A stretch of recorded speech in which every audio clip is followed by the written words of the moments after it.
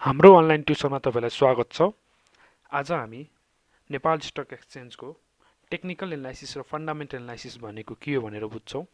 र fundamental analysis भनेको जहिले पनि हामीले यो बुझ्नुपर्छ कुनै पनि कम्पनीको inside the internal performance of the कम्पनीलाई निकाल्नु छ भने चाहिँ हामीले फन्डामेन्टल एनालाइसिस युज गर्छौँ भने कुनै पनि कम्पनीको मार्केट पर्फर्मेन्स निकाल्नु छ भने मार्केटमा चलिरहेको आजको गतिविधि हिजोको गतिविधि निकाल्नु छ भने त्यसलाई हामी टेक्निकल एनालाइसिस भन्छौँ। सिम्पल भाषामा बुझ्ने हो भने। फन्डामेन्टल एनालाइसिस कसरी निकाल्ने हो भनेपछि फन्डामेन्टल एनालाइसिस भनेको कम्पनीले रिपोर्ट दिन्छ। कम्पनीले रिपोर्ट कहिले कहिले दिन्छ त? कम्पनीले रिपोर्ट हरेक क्वार्टरमा दिन्छ। एक वर्षमा कति क्वार्टर हुन्छ? त्यो बुझ्नुपर्ने हुन्छ। एक वर्षमा चार क्वार्टर हुन्छ। हाम्रो आर्थिक वर्ष जहिले पनि श्रावण भदौ असोजमा सुरु हुन्छ र वैशाख जेठ असारमा गएर अन्त हुन्छ। यो बिचमा बाह्र महिनामा हाम्रो चारवटा क्वार्टर बनेको हुन्छ भने कम्पनीले हामीलाई हरेक क्वार्टरको रिपोर्ट दिन्छ र त्यो क्वार्टरको अनुसारले चाहिँ हामीले एनालाइसिस गर्न सक्छौँ।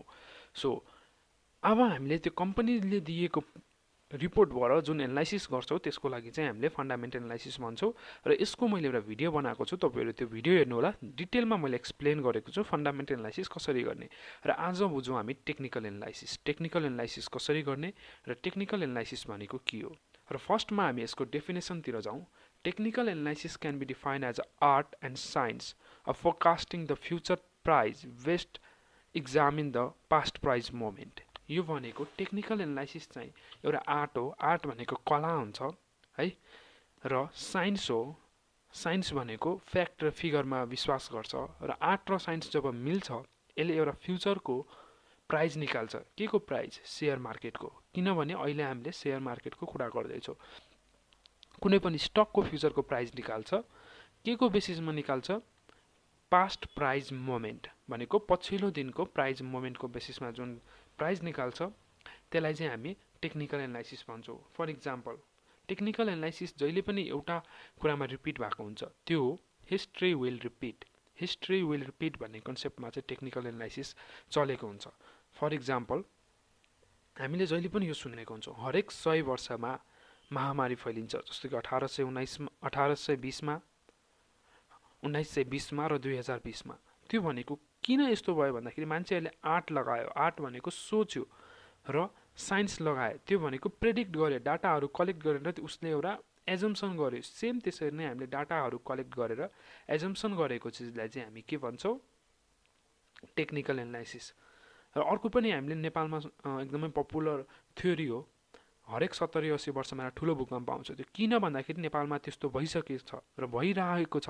त्यही भएरै हामीले यस्तो एजम्सन गरेको त्यही एजम्सनको बेसिसमा चाहिँ हामीले के भन्न सक्छौँ भन्दाखेरि हिस्ट्री विल रिपिट भन्ने कन्सेप्ट चाहिँ त्यसरी डेभलप भएको हो। र अहिलेको केसमा अब हामीले टेक्निकल एनालाइसिसमा पनि सेम त्यस्तै हुन्छ। पछिल्लो दिनको प्राइज मोमेन्टहरूलाई हामी पढ्दा पढ्दा स्टडी गर्दा गर्दा हामीले फ्युचरको प्राइज मोमेन्टहरू निकाल्ने हो।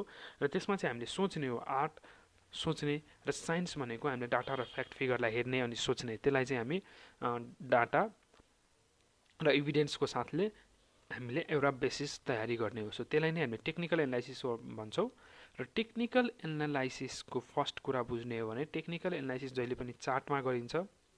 त्यसको लागि धेरै पेड सफ्टवेयरहरू छन् तर आज म तपाईँहरूलाई एउटा फ्री सफ्टवेयर प्रोभाइड गर्छु वा भन्छु जसले गर्दा चाहिँ तपाईँहरूले इजिली टेक्निकल एनालाइसिस गर्न सक्नुहुन्छ।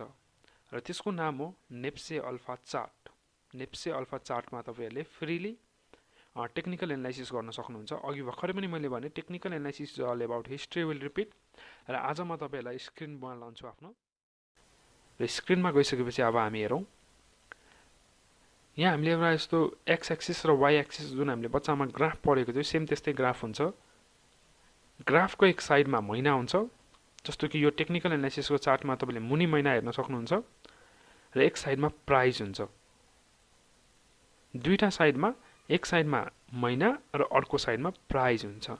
भने यसको माथिल्लो साइडमा यहाँ हामीले नेप्से लेखेको साइडमा हेर्न सक्नुहुन्छ।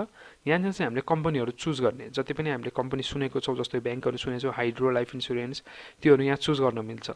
भने टाइम फ्रेम। टाइम फ्रेम भनेको एक दिन यहाँ सेट भएको छ। एक दिन भन्नाले बिहान एघार बजेदेखि बेलुकाको तिन बजेसम्म। तपाईँहरू हामी सबलाई थाहा थाहा छ। मार्केट जहिले पनि एघार बजीदेखि तिन बजीसम्म खुल्छ नर्मल अर कन्टिन्यू सेसनमा। त्यहाँपछि मिनटको चार्ट पनि हेर्न सक्नुहुन्छ डेको चार्ट पनि हेर्न सक्नुहुन्छ। यसको लागि चाहिँ म एउटा छुट्टै भिडियो बनाउँछु। र अब हामी इन्डिकेटरको बारेमा पढौँ। इन्डिकेटर भनेको हामी डे टु डे लाइफमा बुझ्ने हो भने हामी बाटो क्रस गर्दाखेरि जेब्रा क्रसिङमा लाइट हेरेर क्रस गर्छौँ। हामी बाइक स्कुटी गाडी हाँक्दाखेरि हामी इन्डि left indicator right indicator use गर्छौँ। सेम त्यस्तै इन्डिकेटर हामी सेयर मार्केटमा पनि युज गर्छौँ। र यो किन युज गर्छौँ भन्दाखेरि इन्डिकेटर यसले चाहिँ हामीले प्राइजको डाइरेक्सन दिनको लागि प्राइस कुन मोमेन्टमा गइरहेछ भन्नेको लागि चाहिँ हामीले इन्डिकेटर युज गर्छौँ। भने यहाँ अर्को छ तपाईँहरूसँग एडजस्टेड चार्ट र अनएडजस्टेड चार्ट।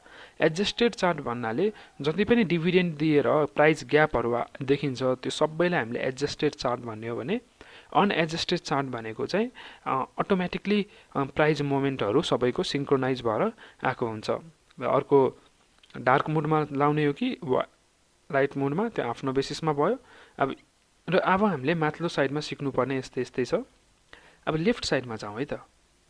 लेफ्ट साइडमा जानुभयो भने तपाईँहरूले जस्तो कि मैले यहाँ कोड्न सक्ने टुल्सहरू हुन्छ। यहाँ मलाई कोड्न मन लाग्यो भने म कोड्न सक्छु। है? यहाँ मलाई टेक्स्ट लेख्न मन लाग्यो भने टेक्स्ट लेख्न सक्छु जस्तो कि सेयर भनेर लेखेँ मैले। मैले सेयर भनेर लेखेँ है? यो कुराहरू मैले लेख्न सक्छु यसको साइजहरूको कुराहरू म गर्न सक्छु। अनि यहाँनिर अरू मैले यहाँ लाइनहरू कोड्न सक्छु। लाइनहरू कोड्न सक्छु। र यहाँ डिलेट जस्तो जुन बटम छ यहाँ हेर्नु सक्नुहुन्छ। यो डिलेटमा मैले क्लिक गरेँ भने यो डिलेट हुन्छ। र अर्को कुरा हामीले बुझ्नुपर्ने के छ भन्दाखेरि यहाँ लग भन्ने हुन्छ। लगमा हामीले क्लिक गऱ्यो भने यो एडजस्ट भएर आउँछ है त। लग अन गर्दा पनि हुन्छ नअन गर्दा पनि हुन्छ तर लग अन गर्दाखेरि डाटा अझै प्रेडिक्टेबल आउँछ। सो आज म तपाईँहरूलाई यो चारैवटा साइटको बारेमा मैले तपाईँलाई सिकाएँ। अब प्र्याक्टिस गर्नु होला म यो सँगसँगै अब नयाँ नयाँ भिडियोहरूमा इन्डिकेटरहरूको भिडियो लिएर आउँछु त्यो इन्डिकेटरहरूको भिडियो पनि हेर्नु होला। आजलाई यति ल हस्त धन्यवाद।